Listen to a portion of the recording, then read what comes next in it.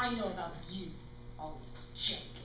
I don't always joke. Always making fun. Mocking people. Quack, quack, quack. I don't always... You're the most infuriating boy I've ever met.